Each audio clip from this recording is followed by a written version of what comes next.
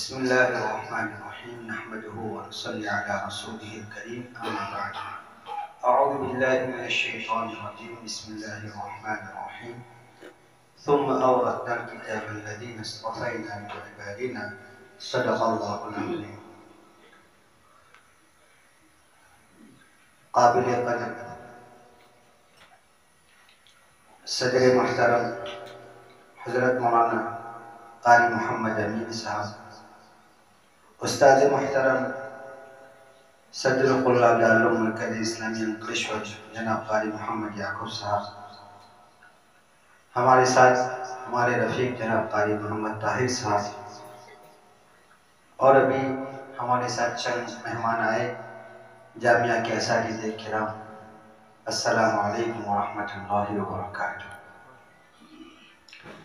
मैं जामिया को दिली मुबारकबाद पेश करता हूँ। यकीन जानिए कि हम लोग कल इस वक्त से वहाँ गुजरात से चले हैं और अभी आए और सीधा आपके जलसे में बैठे लेकिन आपके बच्चों की तिलावत को सुनकर हमें ज़रा भी थकान महसूस नहीं होती। बिला मुबालगा कहता हूँ कोई इसमें मैं तसन्न नहीं कर रहा हूँ।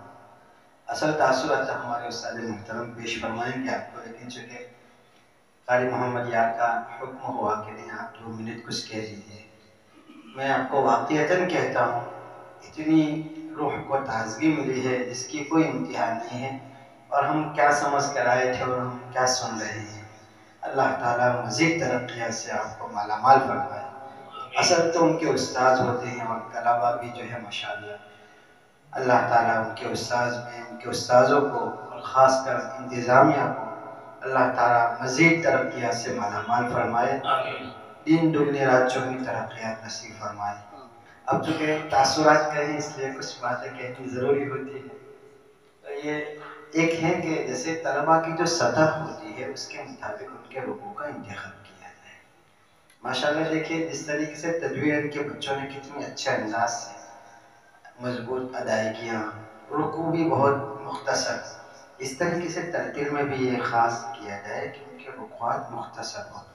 और सबसे अव्वल उनको तजवीद की तरफ़ यानी अदायगियों की तरफ़ मुतवजह किया जाए लहजे पाई की चीज़ें।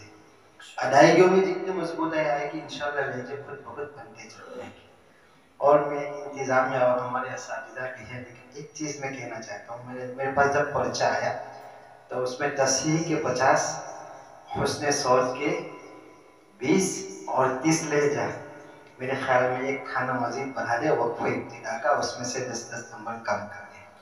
तलबा करते हैं तो उसमें आगे पीछे मुझे तो ये खाना ज़रूर होना चाहिए उसमें से आगे पीछे करें आप लोग इसमें मजीद आपको तकवीत मिलेगी इस वजह से कि लहजा उसने सब ये कि वक्फ इब्तदा एक अलग चीज़ है बच्चा कहाँ रुकता है कहाँ से ये अदा कर रहा है। ये बहुत ज़रूरी है हमारे लिए तो आइंदा चाहकर इन ये मुस्तबे में और भी तरक्की मिलेगी मैं तमाम मेहमान ने कराम का भी बहुत शुक्रिया अदा करता हूँ और ख़ास कर हमारे कार शरीफ साहब जब से हम लोगों ने टिकट बनाई है, इतनी फ़िक्रें और यहाँ आने के बाद भी आप लोग हमें इतनी मोहब्बतों से नवाज़ रहे हैं। हमें शर्म महसूस हो रही है। अल्लाह ताला आपके जामिया को, आप तमाम को और जितने ये सब जो आए हैं, माशाल्लाह मेहमान रसूल के ऊपर हाथ फिराने के लिए जो बाहर से आए हैं, हमारे मुआज़ बुजुर्गान कराम